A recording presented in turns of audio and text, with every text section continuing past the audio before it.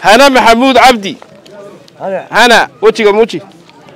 Waxaan ka imid gobolka sanaag fursadda waxbarashada waxbarashada gacanta farsamada gacantana waxaan ka arkay bejka wasaaradda waxbarashada aan ku xidhanahay.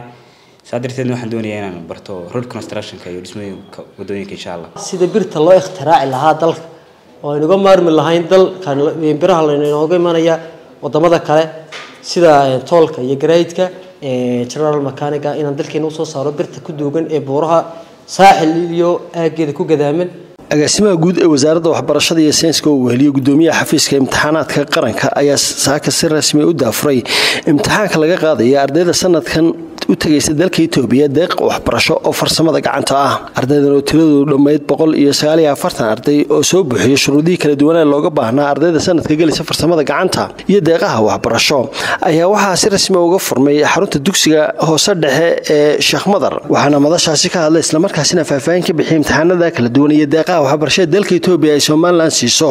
Agaasimaha guud ee wasaaradda waxbarashada iyo sayniska doctor cabdirasaaq jaamaca nuur gudoomiyaha xafiiska imtixaanaadka qaranka mudane daawud axmed faarax iyo agaasimaha waaxda waxbarashada farsamada gacanta ee wasaaradda waxbarashada iyo sayniska marwe nasre axmed aadan. Waxaanay ku dheeraadeen muhiimadda ay somalilan u leedahay in arday siddeetan ku dhow ay sanadkan u tagaan deeq waxbarasho dalka itoobiya iyo ardaydii sannadkii hore tagtay. Bismillahi raxmaani taariikhdu tahay shan iyo tobankii bishii labaad waxaynu iskugu nimidnay in aynu maanta imtixaankii imtixaankii farsamada gacanta ardaydii u tartamaysay waxbarashada deeqda waxbarashada dalka etoobiya aynu kaga qaadno. Imtixaanka halkan lagu jiraa waxa weeye gobollada dalka oo dhan baa ka soo qayb galay. Gobol waliba saami buu lahaa oy wasaaraddu u samaysay iyadoo loo eegayo number of studentska. Student populationka iyadoo loo eegayo yaa saami loo sameeyey.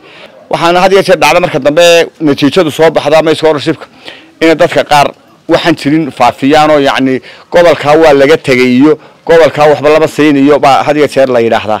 Mana dhicino agaasimaha iyo wasiirka iyo aniga iyo anagoo wada joognaa loo qaybiya gobol walba wixii la siin lahaa. Gobol walbana waanu sheegnay anigii agaasimaha faafin rasmigaa ka sii daynay. Marka hadduu gobolka ima waayo micnaheegu maaha inay wasaaraddu ka reebtay gobolkaa wax.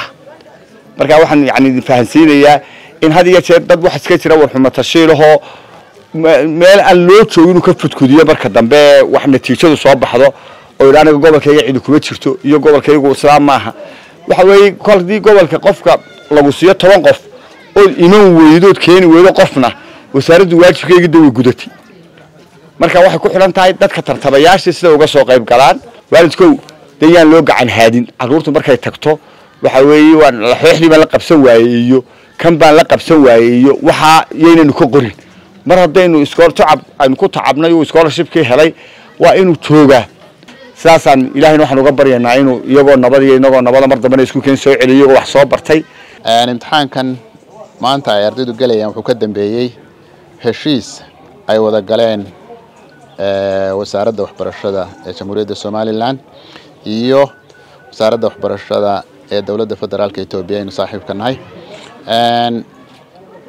heshiiskaasu wuu badnaa. Qayb waxaa ka ahayd farsamada gacanta in aynu arday u dirno oo ay inoo soo tababaraan hadba xaddiga aynu isla garanno ama aynu labadeena dhinac awoodi karno ardayda inaynu dirno maanta halkan waxa aynu diraynaa siddeetan. Siddeetan baa maanta imtixaanka ka soo baxaya. Arday badan baa fadhida laakiin siddeetan unbaa deeqdaasu ay sanadkan ay ku fadhidaa sannadkii hore boqol iyo labaatan arday baa saas oo kale farsamada gacanta dowladdu inagu caawisay dowladda etoobiya waxaa nasiib wanaaga oo ardaydanu ay kuwa hore kaga nasiib badan yihiin. Maanta boqol iyo kow arday ayaa ku jira maxadka farsamada gacanta tababarka farsamada gacanta ee waddanka etoobiya ee ardaydeenanu ay u socoto. Sanadkii hore waxa aan u diray arday ilaa boqol iyo tobana maanta waxaa jooga boqol iyo kow.